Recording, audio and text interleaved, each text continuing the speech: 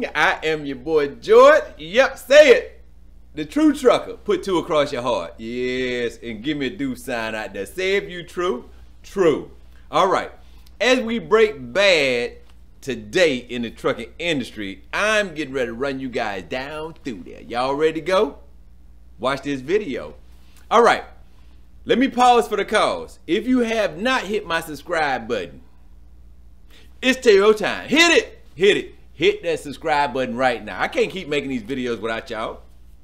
Right? You'll watch everybody else. You watch that girl shake it, shake it, shake it, but you won't hit my subscribe button. Hit my subscribe button so I keep doing this for y'all.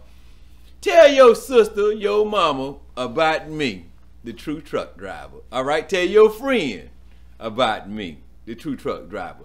All right. Pause for the cause. From a dad out there in Medellin, Colombia, Cecilia, y'all enjoy yourself. Enjoy yourself. That's what family's about.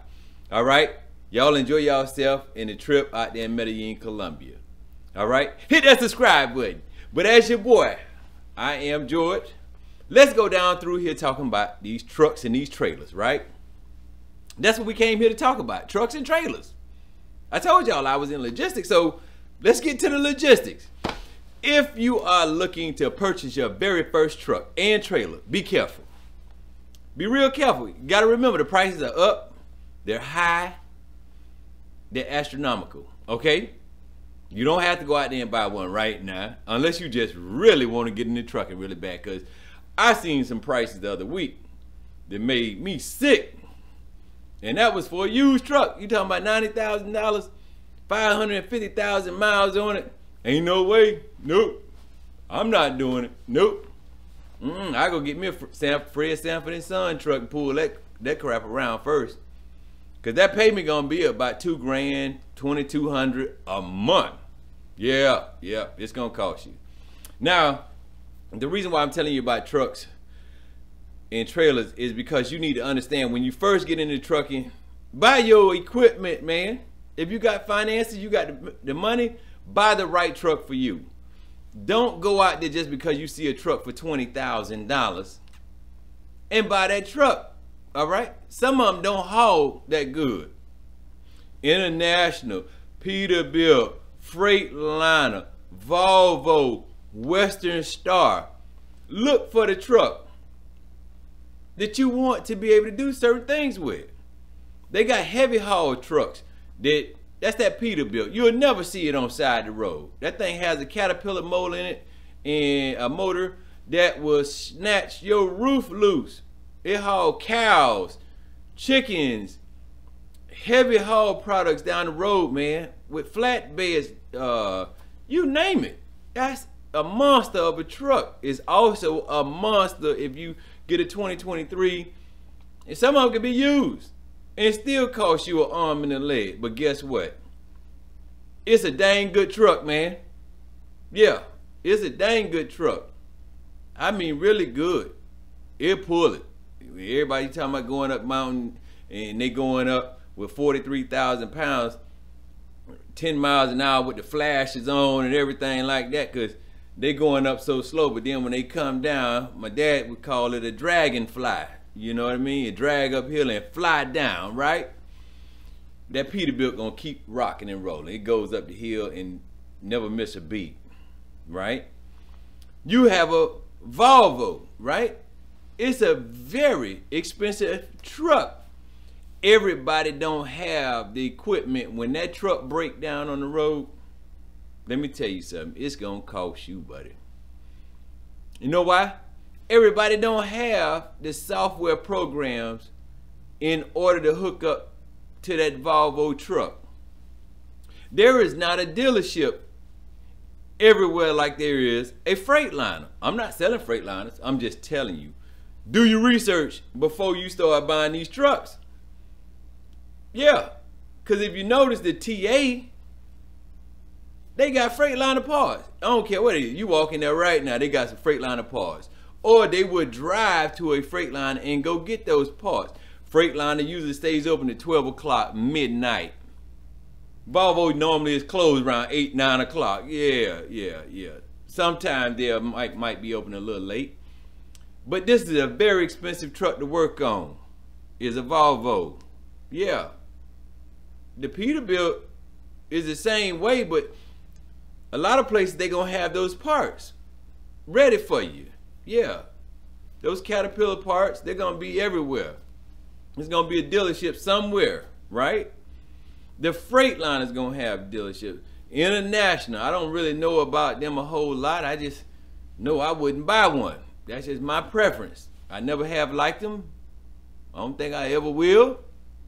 But to each his own, right? Because I started with a Volvo and realized the hard way I messed up. I shouldn't have did that because it was very expensive. When the AC went out, everybody couldn't work on that AC unit. I had to take it back to Volvo, three, four thousand dollars. When the rear end went out, that was a special order because ain't nobody had that, right? So every time something happened to it, I couldn't just have anybody just plug up to it and tell me what was wrong with it.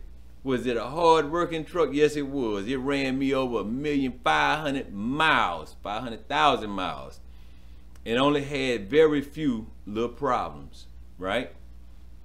So that's why I tell you guys, be careful with what the truck it is you buy, right? That Volvo is a nice turn ratio truck. It's quiet on the inside, but it's not really meant to be a heavy haul truck for 43. It's meant for 19, 20,000 pounds, right? Yeah, it's one of them type of trucks. But is it a nice sleeper? Yeah, it's, it's great. Got great gadgets and everything on the inside of it, but guess what? Hey, do you want a manual or a stick shift, you know, or automatic? So before you jump out here just saying, I want a truck, do your research. Go look at the trucks. Ask the questions. You know, the turn ratio. You need to know this. Some of them trucks have a bad turn ratio in them. Yeah, if you went to school, you, you know the turn. The Volvo got the best one. I mean, cut the wheel real hard.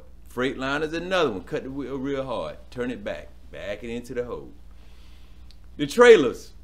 What do you want to uh, haul? You have to think about that. Because if you get a dry van, you're only limited to dry van stuff. What a dry van can hold. Do you want a plated dry van? Right? A translucent dry van, which none of the shippers want to see you come in there with anyway because the tops are tear out of them. Do you need a, a dry van with a lift gate? See, this is specialized equipment that make you more money when you have a lift gate, a pallet jack, just like a step deck. That's a heavy haul specialized product. Those guys, they'll make in one week, one load, what a dry van does all week long, five days a week. Off of one load, they'll make that money. All right? So you have to be able to understand what are you looking for. Now, if you go out here and you get a reefer, a reefer can haul cold and dry. Because you see it posted up on the load boards. Have you if you ever been to load boards, it said this load calls for a reefer or a dry van. That is why you don't see a lot of product coming out of the state of Florida is because the reefer drivers will actually eat up the dry van loads. They'll take them away from them because there's not a lot of product being made in Florida besides produce, you know, and that season's getting ready to come open where you have a lot of produce leaving the state, right? So you think about that, but you also have to think about if I get this reefer, I might be up all the time at two o'clock in the morning because a lot of receivers, that's when you make those deliveries, two and three o'clock in the morning. Yeah. You got to call a broker, get a Comchek because the lumper said it's going to be $450 to have your truck unloaded at 4 o'clock in the morning. So either you got the cash on you or you sit around and wait to receive your bill laden because the broker's not in. Or the broker calls you back and tell you he don't have EFS and he can't pay for it. You're going to have to pay out of pocket. Not us. Next thing it is, you want to look for a trailer. If you get in the dry van trailer, make sure you get one with logistics posts, a plated trailer with logistic posts 12 inches apart, right? That way it can have straps that go across each side to hold the product in place. Sometimes you haul trade shows and they want that product turned in there certain ways and they need those straps to be 12 inches apart or your vertical E-tracks to be 12 inches apart. That dry van plated trailer also hauls a lot of cans, um, bottles, those things of nature and you can actually ask for what you really want out of the load if you have that plated trailer.